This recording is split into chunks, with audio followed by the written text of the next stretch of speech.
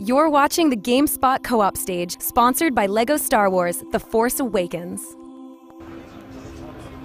Welcome back to the GameSpot co-op stage here at E3 2016, brought to you by LEGO Star Wars The Force Awakens. I'm Jeff Cannata, and I am joined by Danny O'Dwyer, How you doing? Ashley Esqueda, and the senior uh, community manager Yeah. for Crystal Dynamics, Meagan Marie. It's great to be here. Thanks for having me. Well, we are excited to have you because uh, I was not aware of this, and it kind of makes me feel old. Right?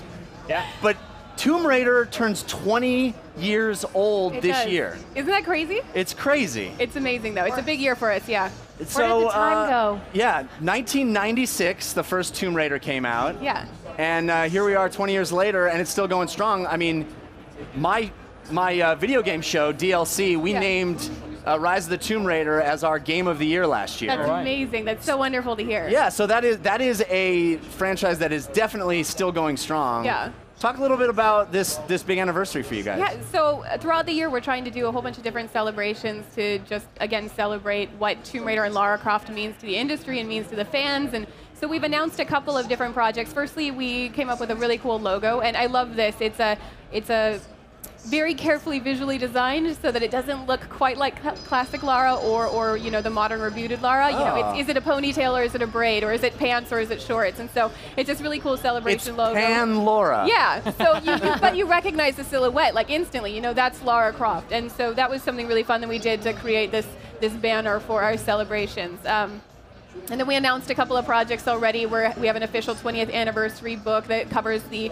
the breadth of the industry uh, of the, the franchise, from video games to comics to the movies and the fans.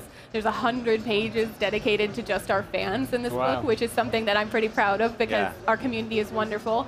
Uh, we also announced a, a music suite, the Tomb Raider music suite, which is uh, the original composer from the the first games, the first three games, Nathan McCree. He's re reimagining the the All right. tracks and Oh, he's doing a concert. Uh, and it's going to be really cool. So we have a couple of other uh, 20th anniversary announcements, some some cool That's awesome. merchandising and other things coming up in the future. So we're, we're trying to stagger a bunch of celebrations throughout the year and, and, and really dive into that nostalgia. That's great. I, Ashley, as a as a girl gamer, As a- Laura probably has a very strong place in your heart. Yeah, I mean, I, the thing is, is there were so few female protagonists. I mean, I really identified as a as a kid with uh, Samus. I mean, Samus Aran was, Yeah. was the jam. Like that was it. And um, and then it it became Lara Croft. Like that sort of ushered in my my teenage years was spent like hanging out with Lara in in all of the different doing puzzles and everything in tombs. And for me, I think it was really refreshing, and, and I didn't realize it at the time. It's just one of those things that now, looking back on it, it was so exciting to me to see somebody that was not just tough or only sexy or only smart or only one thing. It was all of those Yeah. things, and I've always felt that, you know, being obviously like growing up as a, a, a gamer who loves games and is also a girl, like people always thought that was really weird, but I was just like, well, look at Laura Croft. Like Laura Croft is a hero, so why can't I be in games? Like, so it was always a thing that I felt really strongly about. Like I, I championed that, and I thought that that was really important that it didn't just have to be oh she's really tough but she's not sexy like Yeah. it can be both and I, I just really i really appreciate that i mean that's like a cool that's the best thing about lara croft It's a, it's funny now because I grew up very much a similar story, and I know I hear that story echoed across a lot of especially women in gaming.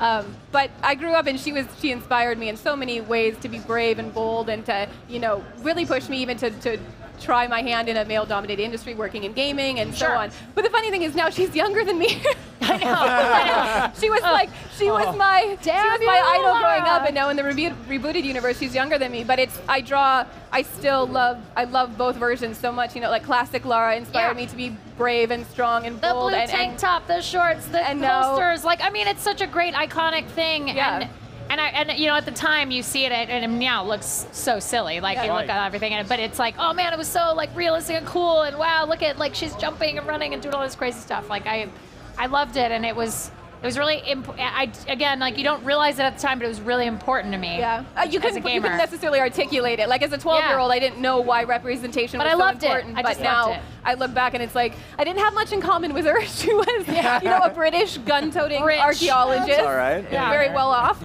Um, but she was brunette and she was a woman, and and it And now she looks me. up to us. Yeah, well, I think that this the, the new Lara, rebooted Lara, continues to inspire me, especially because she she shows true bravery through adversity and Sure. like teaches you that like vulnerability and being human isn't a bad thing. And Is and it so it's a way for It doesn't it's mean a- it's a- weakness. definitely something I draw inspiration from too. Yeah. Yeah, Danny, I, I, I'm curious. Uh, it seems to me that the the pattern of or the path of this franchise Right. mirrors in a lot of ways the, the pattern and path of the video game industry as a whole. Here we have a character and a series that started as basically a riff on Indiana Jones or something, very simplistic, and now these modern, these last two games are so much more nuanced and so much richer and so much deeper and have a character that is really written as as well as any film character is. And I think that shows where we went as an industry, right? Yeah, totally. I mean, uh, there aren't many game franchises of which last two decades, like just across the board, especially not one that's been led by a singular character. So in that respect, Tomb Raider is incredibly sort of singular, singular in that respect. I mean, I think about my own uh, love of that franchise. When I first got a PlayStation, the, the Lara Croft and Tomb Raider was the uh, franchise that I attached myself to immediately. I remember, like at Christmas, I could only ever get one. I get one video game, right? That was my present. I remember, I guess it was '98 then, so Tomb Raider 3. Yep. Uh, that year, getting getting scared. My sister had to pick it up in England because there was no copies left. and she brought it home, and my mother was like, "Why are you Tomb?" She thought it was a game about grave digging. it's, called Tomb, it's called Tomb Raider. I was like, no, no, no, no, it's not. Grave robbers. That's no, basically like, oh, I have to steal from all these dead people. Sure, right? And, and you're right. Like, there, I mean, there was a dark path in the middle there with Angel of Darkness, and some of those games didn't really hit off really well. I mean, Right. Crystal Dynamics picked up that ball, and when they when they sort of reinvented Tomb Raider, I mean, twice now, basically. Yeah. Yeah, but I mean, the, the foundation was there, and the foundation is what made it so strong. And Core Design did a wonderful job in creating this game where you could actually interact with these incredible 3D environments. And I think Yeah. you know it's easy. Lara Croft is amazing, and, and you know obviously like she's the the reason that I fell in love with the games first and foremost. But the world and the technology and the environments and the puzzles and T Rexes and all these things like that. Yeah. The gameplay was so incredible, and that foundation that they laid, you know, allowed us to really uh, run with the franchise when we became the stewards of it. And so it's it's been an incredible journey. Looking Yeah. through looking looking through it has been really incredible. It's, it's an amazing time period. And, you know, here we are at E3, and there's so much uh, excitement around uh, a game like God of War that's being sort of rebooted. Yeah. And I feel like what we're seeing from God of War is very exciting, but wouldn't have happened if there hadn't have been a, a Tomb Raider. You know, it's, it, I think it learned from that. It's in that same, Well, so many games were inspired by that. I mean, Uncharted. Like, I mean, if you think Right, about all sure. these like amazing, incredible Circle games. itself. Yeah, Yeah. it was literally like this. This time is a flat circle. Like.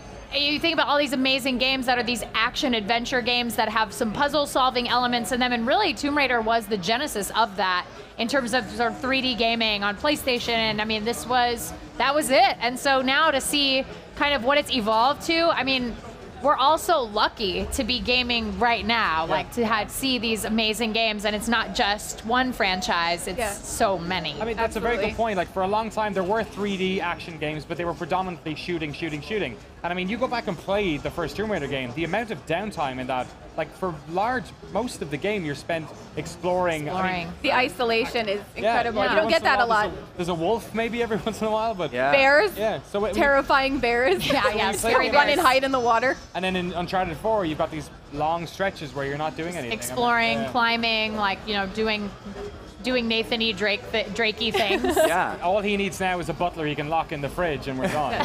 exactly. One of the best moments Right? franchise I think it speaks to the to the power of characters and characters that persevere, right? I mean, I think you could put Lara up against, you know, alongside Pac-Man Yeah. and Mario. You know, she is she is one of that pantheon of, of characters that has been around that long and endures and continues to be relevant and continues to represent. I mean, we've had films of Tomb Raider, but Right. it represents video games, I think, Yeah. in Yeah. a large sense. And I think that it, she definitely transcends gaming, even though you know being so important and pivotal within gaming. I mean, going to the the two comic series with Top Cow and Dor- Dark Horse, and the movies, and we are having another movie coming out, Yeah. and we've got Yeah. you know an animated. There was an animated series at one point in time.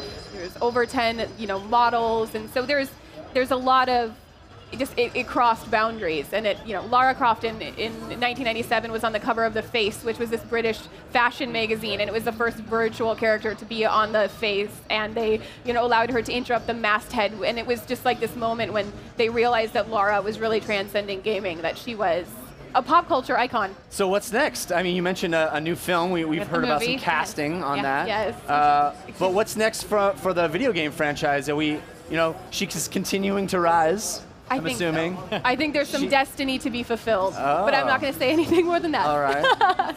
so it's just it's an exciting time to work on the franchise and knowing that the future is really bright and that you know this year is all about celebration is really great Yeah. it's, especially for longtime fans i'm right now on social channels we're doing every two weeks we're, we're doing a deep dive on another game and so right now we're doing tomb raider 3 and every day we're posting this little tidbit and a lot of stuff it's really fun because um, I, I wrote the, the 20th anniversary book, and, and in that process of writing it, I uncovered a bunch of stuff that even I didn't know. And I kind of thought that I knew.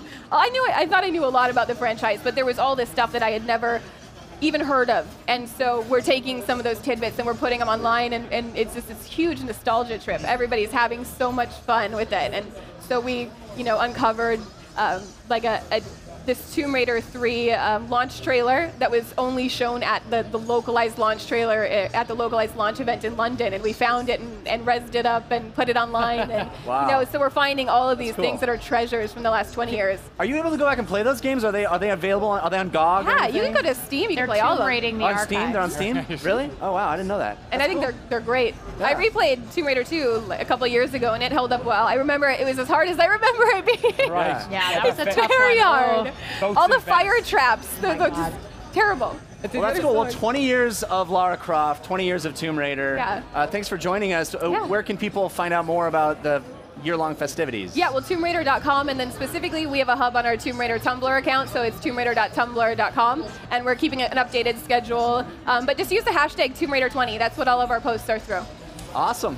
Well, we got lots more coming at you from E3, so uh, stick around and keep us tuned in.